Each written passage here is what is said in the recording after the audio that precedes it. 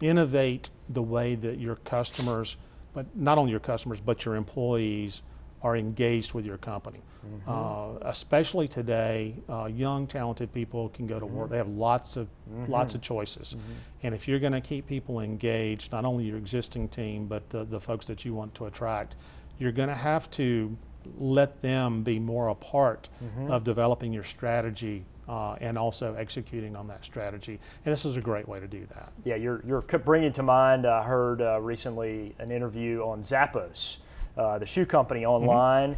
And I think they bring in employees, young folks out of college to join Zappos. They train them, Right. and then they, they're willing to pay them money to leave the company. Right. Unless they're totally passionate about their job. There's an innovative approach to saying, this is a company where the employees are passionate.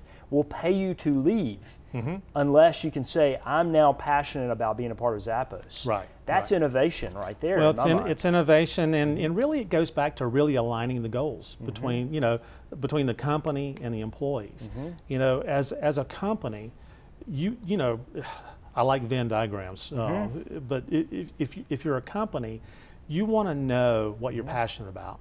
You also want to know what your capabilities are, Mm-hmm. right? But the third uh, ring in that is the market opportunity. Mm-hmm. As individuals, when you're bringing in talent, they want to do things that they're passionate about. They want to do things that they have around their capabilities and where there's a market opportunity.